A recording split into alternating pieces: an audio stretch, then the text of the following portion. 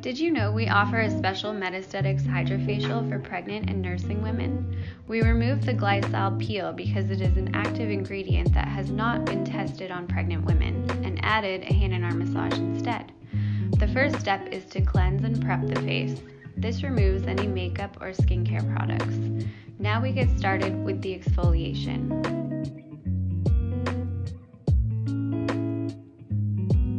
We perform the extractions to pull all of the gunk, oil, and dirt out of your pores. And then we add a custom booster.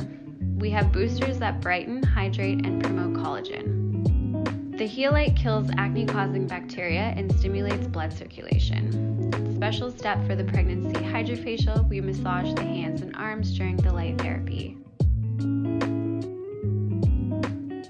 After the Healite, we apply a hyaluronic acid to boost hydration. We then massage this into the skin and apply a custom moisturizer, eye serum, and SPF.